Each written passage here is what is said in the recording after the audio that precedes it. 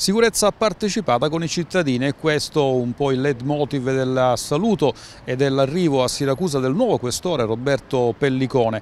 Il coinvolgimento dei cittadini, il coinvolgimento anche di una massima prossimità da parte della Polizia di Stato proprio per provare a eh, andare incontro a quello che serve appunto alla comunità ma soprattutto contrastare il malaffare. La sicurezza secondo me è un qualcosa che si costruisce giorno per giorno e in questo ambito secondo me i cittadini svolgono un ruolo fondamentale perché la collaborazione sicuramente facilita quelli che sono i nostri compiti. Quindi, come ripeto, la questura aprirà ulteriormente le, le porte ai cittadini e anche la mia porta sarà aperta ai cittadini che eh, intendono eh, dire, avvicinarsi a noi.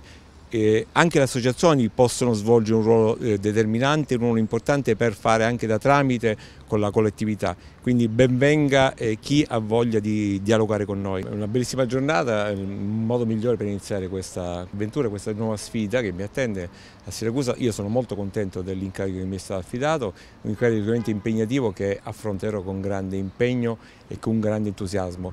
So di trovare una struttura molto ben organizzata e cercherò di proseguire l'ottimo lavoro svolto da chi mi ha preceduto. Ho un'ottima squadra di ottimi funzionari, mi avrò ovviamente la collaborazione di tutte le donne e degli uomini della Polizia di Stato e dell'amministrazione civile e cercherò un po' di comprendere quali sono le criticità eh, che presenta il territorio per cercare di incidere nel modo migliore possibile.